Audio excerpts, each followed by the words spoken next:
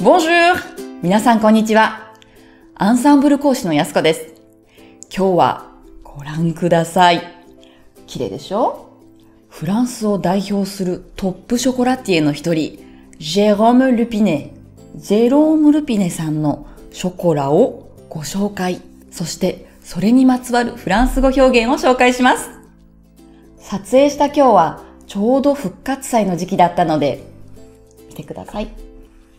このように卵のモチーフをしたチョコレートがたくさん置いてありました。今日はこちらの卵のショコラではなくて、こちら、綺麗な箱に入っているボンボンショコラのご紹介と、それにまつわるフランス語表現をご紹介します。では、早速開けてみます。いきますよ。はい。いかがですか？あ失礼しました。こちら、カタログがまず入っています。後ほど、こちらも紹介します。そして、綺麗なフィルムの下には、なんて、はい、どうも、綺麗な宝石のようなチョコレートがたくさんですね。まずこのたくさんの種類があるという表現を早速ご紹介します。Il y a beaucoup de variétés. Il y a beaucoup de variétés. Il y a beaucoup de variétés. 楽しめますね。うん。どのチョコレートも美味しそうですね。では、その表現も言ってみます。Chaque chocolat a l'air délicieux. Chaque chocolat a l'air délicieux. Chaque chocolat a l'air délicieux. Chaque chocolat a l'air délicieux. では、こちらから順番にご紹介しますね。まずこちら。ピンクのヒョウ柄がなんとも印象的です。ぜひ、近くでご覧になってコレートは溶けやすいので、爪楊枝で失礼します。こちらです。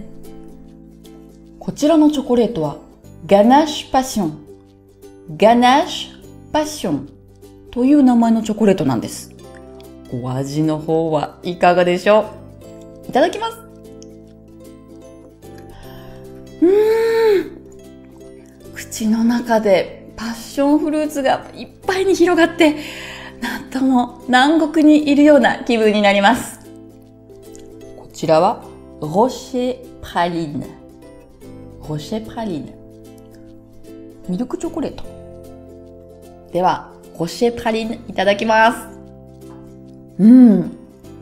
口の中でサクサクした、うん、アーモンドが入ってるのかな？味がします。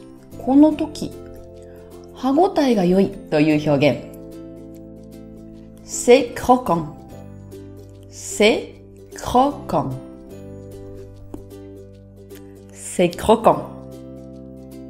では、次。この黄色のドットが可愛いチョコレートです。行ってみましょう。パッダモンドシトン。パッダモンドシトン。アーモンドパテのレモン味です。早速いただいてみます。では、こちら、断面図です。中、やはりレモンだけあって黄色いですね。いただきます美味しいです。これ、フルーティーなチョコレートだと思います。では、引き続き、この丸いの気になりますね。じゃじゃん。丸い。中身どうなってるのか見てみます。はい。オレンジの丸いの。何でしょうか、これ。こんなのが出てきました。では、こちら、食べてから感想を言おうと思います。あ、これわかりました。キャラメルブーサレです。あの、キャラメル？キャラメル。ブーバター、サレ。つまり、塩バターキャラメルボンボンショコラです。いや、見事にチョコレートとキャラメルブーサレ塩バターキャラメルが融合されていて、なんとも遊び心いっぱいのチョコレートです。遊び心が詰まっているという表現。c'est plein de gaieté. c'est plein de gaieté. c'est plein de gaieté. では、引き続き、どんどんいきますよ。これいきましょうか。もうなんだか、シマウマみたいな感じで、先ほどの、ね、ヒョウ柄じゃないですけど、なんか女子高生の頃を 思い出してしまいます。いや、ちょっと年がバレちゃうかな。じゃあこれ、なんでしょうね。カタログを見てみます。ガナッシュミエル・ドゥ・シャテニエという種類です。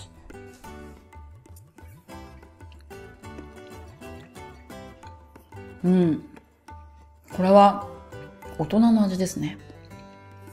ガナッシュがやはり口の中で溶けるので、それとともに、あ蜂蜜の香りが、すごく強い蜂蜜の味ですね。またこの蜂蜜とブラックチョコレートのマリアイズが本当に美味しいです。うん、とてもカカオの味も強かったです。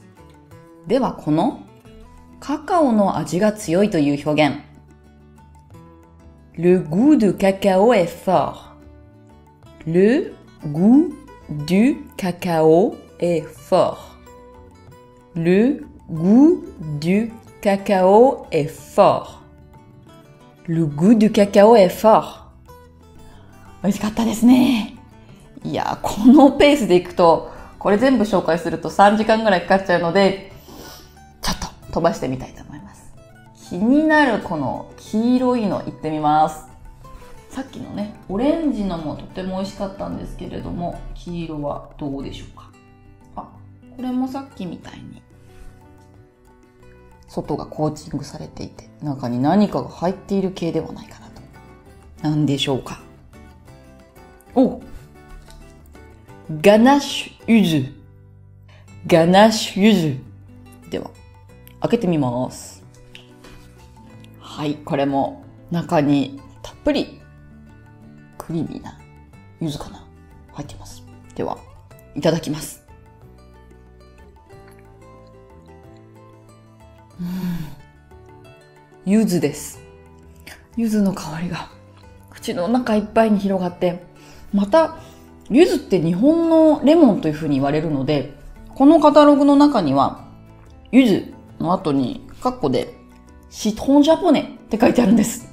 そして、聞いたことがあるんですけど、この薄いコーティングされるチョコってものすごく難しいそうなんですよ。そしてその中にまたこの液体のようなものを入れたり、とても難しい技術なのに見事に融合されています。本当に職人さんの真心が伝わりますね。こういう芸術的な作品をいただいたときは、これは職人の真心がこもっていますね。という表現。よく使いますよね。では、ご紹介します。On sent bien l'intention de l'artisan. On sent bien l'intention de l'artisan. On sent bien l'intention de l'artisan. On sent bien l'intention de l'artisan. と、こう表現してみてください。では、とても美味しかったんですけれども、ちょっと苦しくなってきたので、こちらで最後にしたいと思います。Les pavés de l'année。Les pavés de l'année。というチョコレートです。ここ、スペシャリーテって書いてあるんですけれども、実はこれ、ラニーという街の石畳をイメージして作られた作品なんだそうです。今ではこのラニーという街を代表とするチョコレートというふうに言われているそうです。では、早速中を見てみましょう。おお、石畳って感じですね。チョコレートは、あ、大きい。ずっしり。これ、ボンボンショコラの倍ぐらいありそうな、重い、ずっしりとしたチョコレートです。こちらは、どのように解説されてるんでしょうかね。レパベデラニー。これですね。プラリネットヘーゼルナッツをベースにジンジャーとオレンジピールの味がインパクトがあるというふうに書いてあります。なんとも、ジンジャー、オレンジピール、いろいろな味がするみたいです。じゃじゃん断面図はこちらです。この大きさ。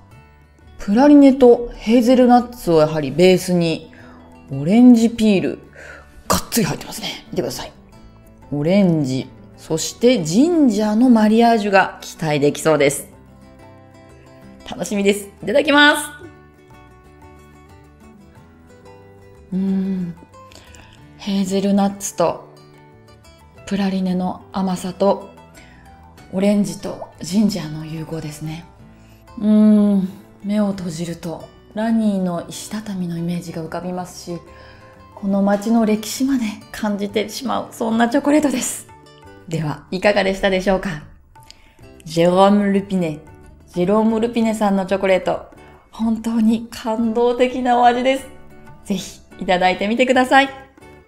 では、また次のレッスンでお会いしましょう。ボナペティー Au revoir